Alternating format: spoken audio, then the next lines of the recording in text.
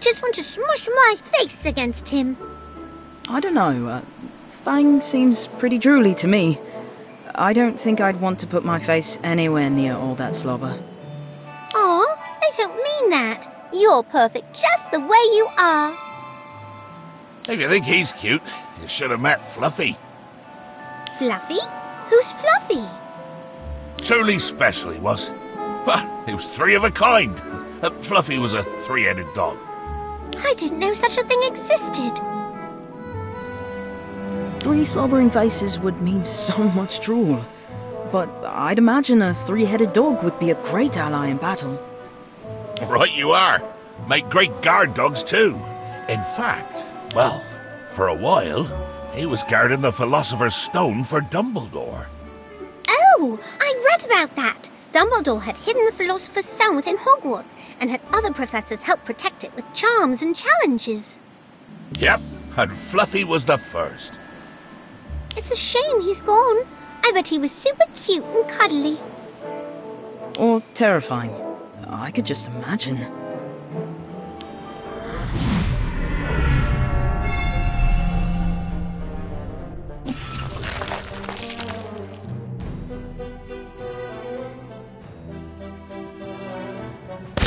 Expulso!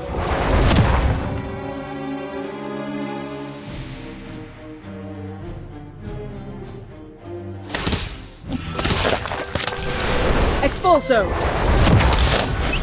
Oppugno!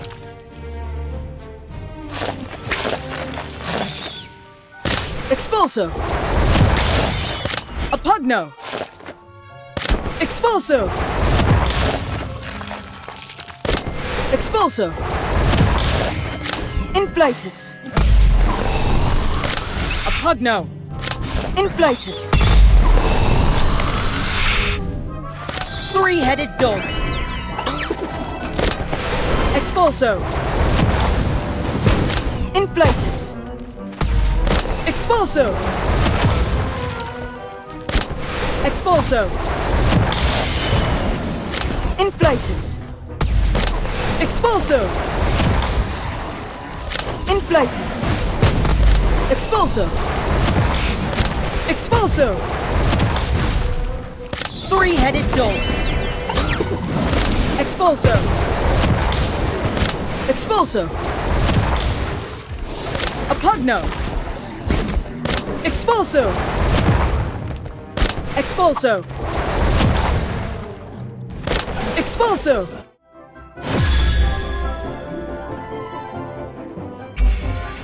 Terrifying? Nah. Just play him a bit of music and he'd go right to sleep. That's good to know, if I ever encounter one in the wild.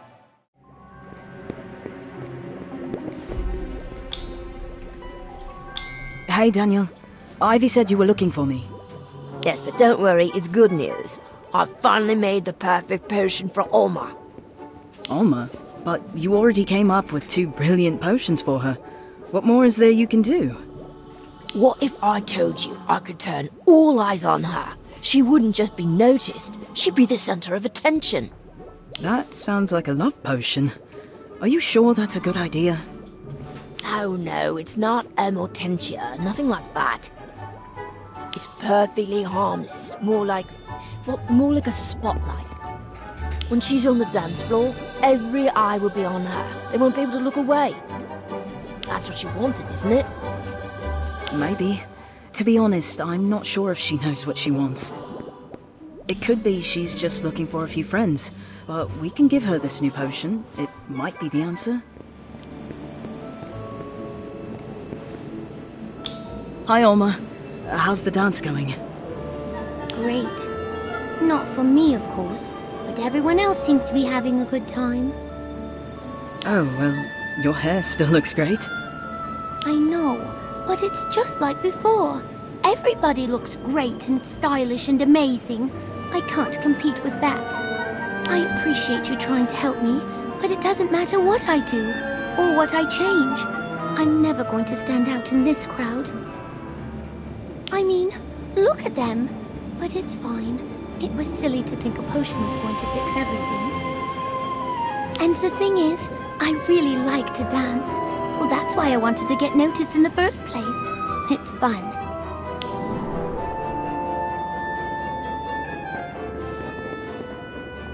See? It's worse than I thought. I hope I made enough potion. Daniel, wait. I don't think she needs another potion. I think. I think she needs someone to ask her to dance. To dance? You're joking, right? No, I'm serious. I bet she's a great dancer. She just lacks the confidence to get out there on her own. That's why she wants to be noticed. Hmm, maybe. But who's going to ask her? I am. Alma, would you dance with me? Um, okay, but you don't have to do that. Why not? You said you really like dancing, right? Of course, if you don't think you're good enough to keep up with me. Do it!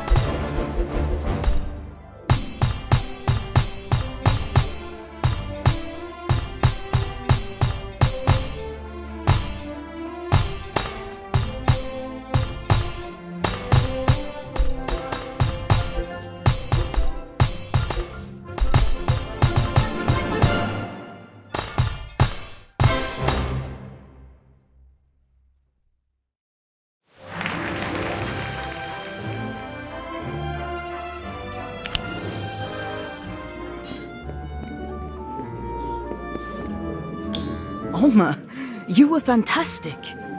Thanks. I really do love dancing. Moving to the music makes me feel like I don't have a care in the world. I could tell. And did you notice? Everyone was watching. What? They were watching us dance? No, they were watching you. I don't think you'll have a problem finding someone to dance with anymore. In fact, they're going to be lining up for the chance. Wow. And I thought people would only respond to the way I dressed or the color of my hair. That was silly, wasn't it? Well, yeah. You just had to show everyone the real Alma. And that's who you are when you're dancing. Confident, happy, free. Oh, much better than a potion any day. Thank you. Daniel, too. You're both good friends. I hope he didn't waste too much time brewing all those potions. Daniel might complain, but he's always happiest when he's hunched over a cauldron. Just like you on the dance floor. I am. In fact, I can't wait to get back. Go. And if you ever run out of dance partners, I'll be there. Kevin, I'm surprised to find you here. I thought you weren't a fan of Weasley's Wizard Wheezes. I'm not. All these practical jokes make me uncomfortable. But Robin loves them, so. Very brave of you. I assume you're looking for a birthday gift. Yes, at the risk of playing a joke on myself, I decided to get her something she'd like. Do you have any suggestions?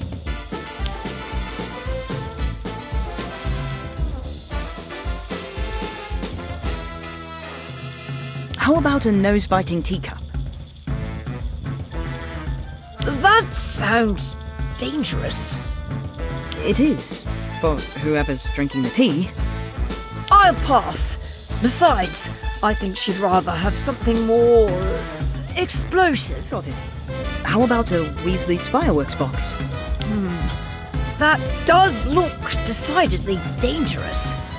Ah, excellent choice, my young friend. One of our best sellers, and guaranteed to cause quite a commotion. How big of a commotion? Enormous. This box features a brilliant collection of fireworks that all explode violently if hit by a stunning spell, and multiply if any attempt is made to vanish them. They're practically unstoppable. Robin will love that. Does sound rather terrifying, but weren't these banned at Hogwarts? Is that ban still in effect? Surely it's been lifted by now. Hmm, I don't know. Perhaps a free sample will seal the deal? Inside the shop. Is that wise? Only one way to find out. Go on, give it a try and see if this fireworks box is as explosive as you want it to be.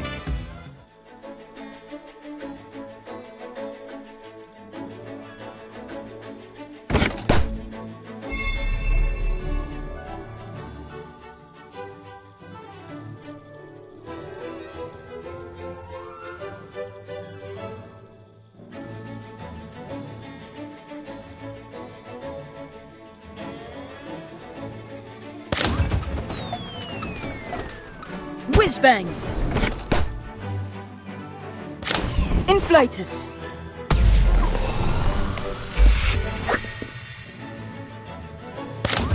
Whiz bangs!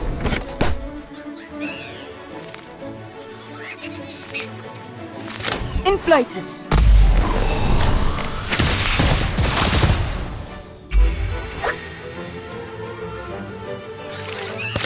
Whiz bangs!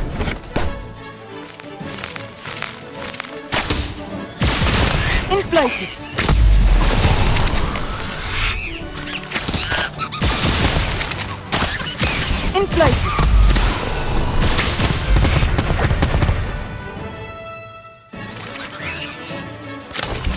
Inflatus!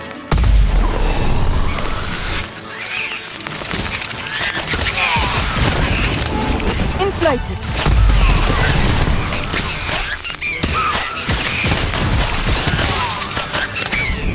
Inflatus!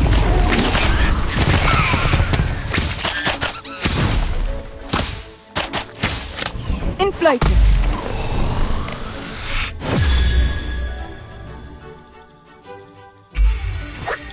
Uh, does it ever go out? Absolutely! Uh, eventually, I think. Actually, it's been a while since I lit one of these indoors. You two might want to clear out. But I haven't paid yet. On the house, kid. Just tell everyone where you got it and say hi to Mr. Filch. Good luck!